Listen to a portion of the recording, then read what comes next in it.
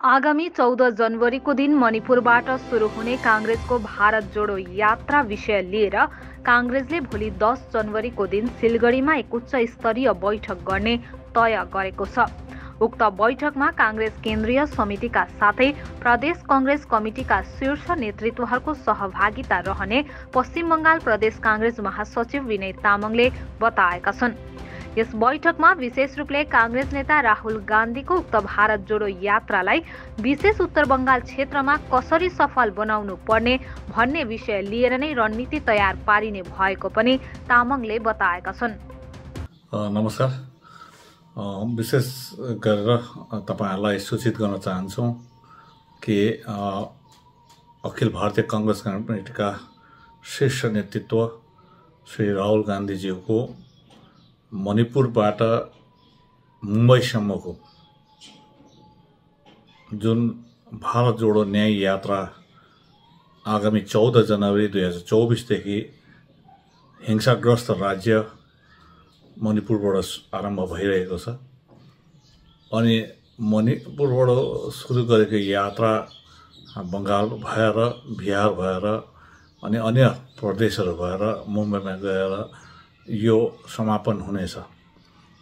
र मणिपुरदेखि बङ्गाल हुँदै गएको यो यात्राको दूरी या लम्बाइ छ हजार सात सौ तेह्र किलोमिटरको हुनेछ भने यो यात्राले भारत देशको पन्ध्रवटा राज्य भएर यो यात्रा जानेछ अनि पन्ध्रवटा राज्यमा एक सौ दसवटा जिल्लाहरू पर्दछ।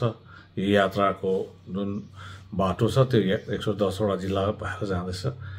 अनि लोकसभाको आसनको कुरा गऱ्यो भने यो छ हजार सात सौ तेह्र किलोमिटर या भनौँ पन्ध्र राज्य या एक सौ दसवटा जिल्ला भएर जाँदाखेरि एक सौवटा लोकसभा आसनलाई यो यात्राले छोएर जान्छ भने यो यात्रा भएर जान्छ भने पन्ध्रवटा राज्यको एसेम्ब्ली सेगमेन्ट एसेम्ब्ली कन्स्टिट्युन्सी तिन सौ सैँतिसलाई छोएर जाने तपाईँहरूलाई जानकारी दिन चाहन्छु। र बङ्गालमा जुन उहाँको आगमन छ सायद सम्भवतः यसै महिनाको अन्ततिर हुने हो। र यसैलाई लिएर भोलि दस तारिक जनवरी दुई हजार चौबिसको दिन बङ्गाल च्याप्टरको उहाँको यो भारत जोडो न्याय यात्रा विषयलाई लिएर अल इन्डिया कङ्ग्रेस कमिटीका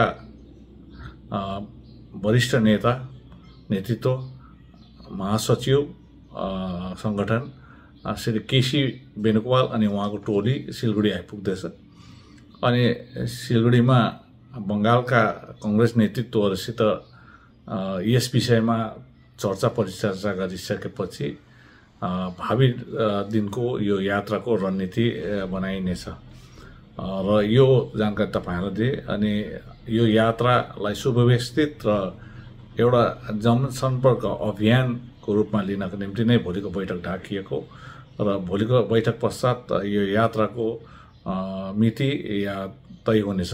साथसाथै उहाँको यात्राको रुट एउटा बाटो कुन भएर आउने अनि कुन भएर बङ्गालमा पस्ने र कताबाट चाहिँ बङ्गाल भएर चाहिँ बिहार पस्ने यो भोलि नै यसमा निर्णय लिने भएको छ। र यो तपाईँहरूलाई जानकारी दिनु थियो र यो जानकारी तपाईँहरूसित साटे। धन्यवाद। जय हिन्द वन्दे मातरम।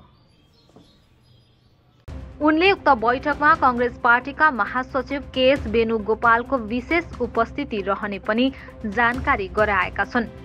मणिपुरबाट सुरु हुने राहुल गान्धीको भारत जोडो यात्रा सम्पूर्ण पूर्वोत्तर क्षेत्रमा पनि हुने भएको छ।